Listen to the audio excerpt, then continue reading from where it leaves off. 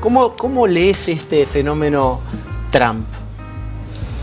Bueno, en un punto, y esto suena antipático, pero en un punto es un político muy parecido a Macri, solo que Macri fue ocho años jefe de gobierno y Trump se inicia como presidente del país más grande de Occidente, o sea, lo cual es una diferencia, pero como, como carrera política es una carrera muy parecida, son dos millonarios eh, que deciden hacer carrera política. Eh, en el caso de Macri fue presidente de Boca, creo que exitoso, no tengo la menor idea, pero me dicen, he preguntado y me dicen que exitoso. Exitoso, sí, puso a Boca entre este, los cinco clubes más grandes en el momento. También fue Bianchi, hay que decirlo, pero sí.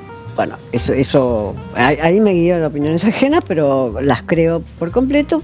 Fue presidente de Boca y después fue la ciudad de Buenos Aires. Pero sus orígenes políticos son como los de Trump, es decir, millonario y alguien que carece de formación política anterior.